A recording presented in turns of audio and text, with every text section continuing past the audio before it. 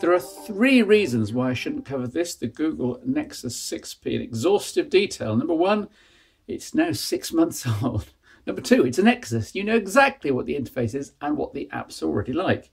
And number three, much of the internals are very similar to the sister device, the Nexus 5X, which I reviewed in Phone Show 265. So the same pros and cons apply. But picking up that last point, the Nexus 6P does improve on the 5X in a few regards. There's a proper speaker behind the top grille and the stereo output is superb. Let's take this to full volume.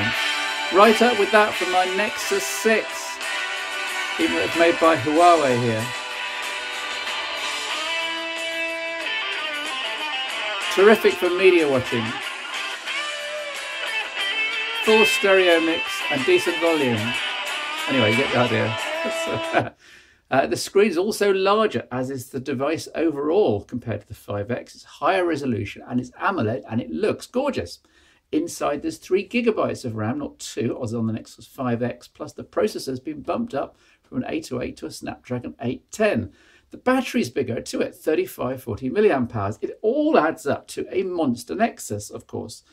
A couple of beefs with the Nexus 5X do carry over here. There's no Qi charging thanks to the aluminium back, but I'm now prepared to forgive this as I've come to rely on the 3 amp fast charging on devices like the 6P and my uh, Lumia 950 here. It's just so quick to get topped up when needed.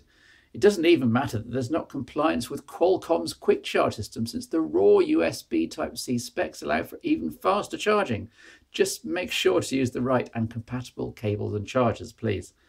The other remaining beef with the 5X was that the camera lacked OIS, present in Nexi since the 5, famously back in 2013. Google's answer is that the 5X and 6P camera is fast enough and with big enough pixels not to need OIS, but it's a bit of a cop out. In my tests, every OIS equipped smartphone camera, including the Nexus 6, actually, kind of rang rings over the 5X and 6P whenever the light levels got remotely low. An infamous YouTuber, Jerry Rig Everything, has demonstrated how fragile the Nexus 6P is, or could be. Certainly, you want to case it all the time and keep it out of the back pocket. Ted swears by these bug droid cases. Compared to the Nexus 6, which is made by Motorola, which knows a thing about durability, and you can tell the Huawei made Nexus 6P has mechanical weak points, it's true, and is incredibly hard to repair. See the iFixit teardown. But treated right, there's absolutely no reason why it shouldn't serve anyone well and live a long life.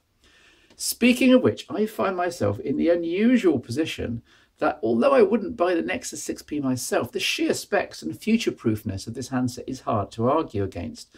When asked, which Android phone should I buy? It's hard to look past the Nexus 6P, as long as it's not too large for the person in question. But we're moving into a, a phablet dominated world in terms of media consumption and enhanced gaming.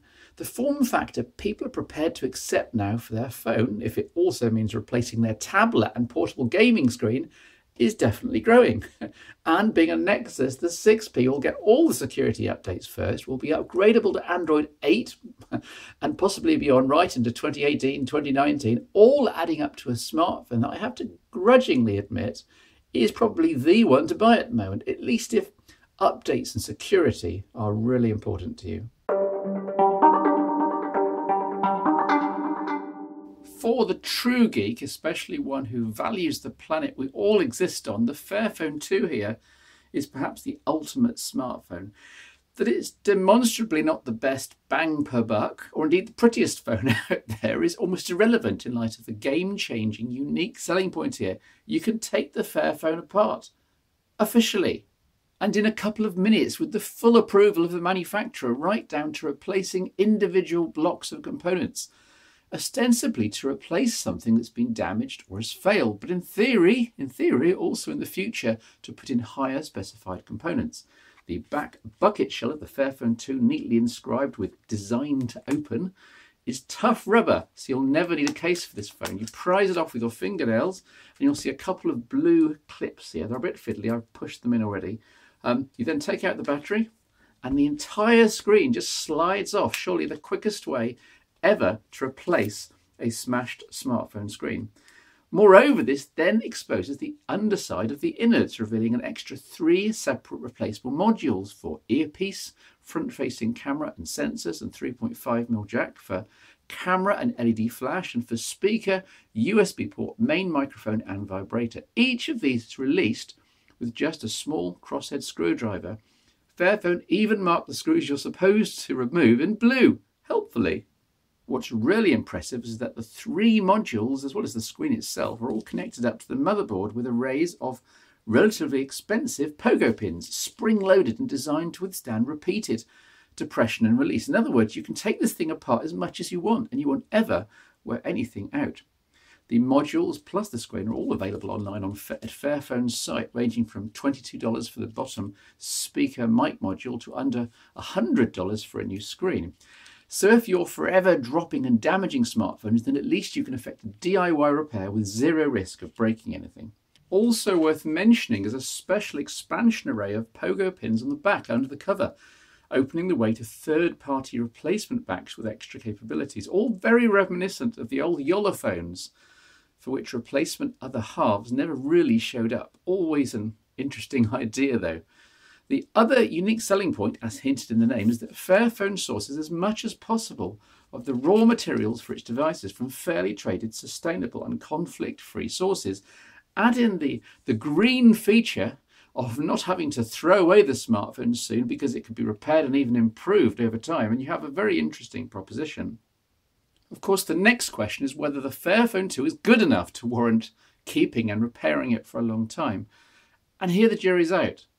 The specifications are Nexus 5 level, a 1080p IPS LCD screen. And yes, by the way, this is what happens when you take the battery out to fiddle around. It has to re-upgrade Android all over again, or at least optimize it. That sucks. There's a 1080p LCD screen, a Snapdragon 801 chipset, 2 gig of RAM, and 32 gig of storage, though plus micro SD. There's a capable, though ultimately unspectacular 8 megapixel stills camera with LED flash. See these samples. As usual with the stock Android camera application, you'll be making a lot of use of the Auto HDR Plus facility in order to get photos that really stand out, but I had no complaints overall.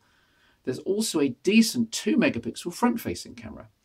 You also get an FM radio and dual SIM capability as standard, and with all the parts swapping facility, it's easy to see that the Fairphone 2 is not only kind to developing countries, it's also aimed at them too.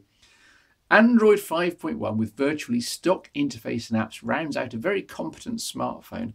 If the build and the design was standard, then I'd estimate this phone to need to be priced well below 300 euros in the 2016 smartphone climate. Now, the Fairphone 2 is currently 525 euros, which means you're paying over 200 euros, about 150 pound in UK money, for the repairability and conflict-free credentials. Gulp. They say you can't put a price on integrity or conscience, but I think Fairphone just has. Comments welcome. How important are the Fairphone 2's unique selling points to you? Although the interface is essentially stock Android, there are some additions worth noting. The launcher is new, with frequent contacts off to one side and recently and commonly used applications off to the other, but you can put on whatever launcher you want, of course, including Google's own.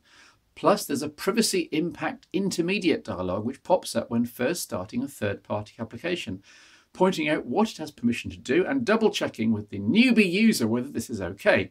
There's also the chance to block notifications at this stage, all very handy and a nice idea. Although applications should behave as on a Nexus, in fact Photos for one, bizarrely, kept misbehaving when trying to zoom and generally manipulate images, there are clearly some stability issues for Fairphone to fix. Everything's based on the Android open source project, though with all the Google apps licensed. In addition to the launcher, you'll also probably want to put on the swipe-aware Google keyboard since the AOSP version here doesn't go quite far enough or have the full range of bells and whistles. The only third-party application shipped is iFixit here, somewhat bizarrely, though I guess an app dedicated to helping you tear down and repair stuff is actually a pretty good fit here, so why the heck not? And if you're interested, iFixit gave the Fairphone 2 an unprecedented 10 out of 10 repairability score, by comparison, most of today's sealed flagships are down in the 3 out of 10 region. Aside from the price, I do have one complaint about the Fairphone 2. You can probably spot it here at the bottom. The rubber shell and back is a right pain to get on cleanly. There's always a little corner or two that's not quite on, and then you have to lever the rubber lip over with something small. I'm off to get my jeweler's screwdriver in a moment. It's annoying considering how easy everything else is. Maybe it's something that can be fixed by adjusting tolerances at Fairphone's end. This, this is really dicey. I know it's Gorilla Glass 3, but I'm sorry, Fairphone, you've got to rethink this rubber lip. There we go. oh, and stick a few spare screws in the box, Fairphone. It's insanely easy to lose the tiny little things when taking the modules out. Look, the Fairphone 2 is a competent 5-inch screen Android smartphone, albeit with specs from a couple of years ago. You have to really, really fancy the idea of easy repairs and modularity though, since at the time of writing, this is more than 100 euros more than a Nexus 5X or an LG G4 to name but two phones, which are far, far higher spec. Personally, I'd love to support the Fairphone vision by buying into their device line, but they've got to either A, bring the price down, B, offer a range of premium modules with higher capabilities, or C, offer something extra in line with their ethics. For example, buy the Fairphone 2 and you're also paying for a drinking well in the third world, or something like that, or a combination of all three. This is the Fairphone 2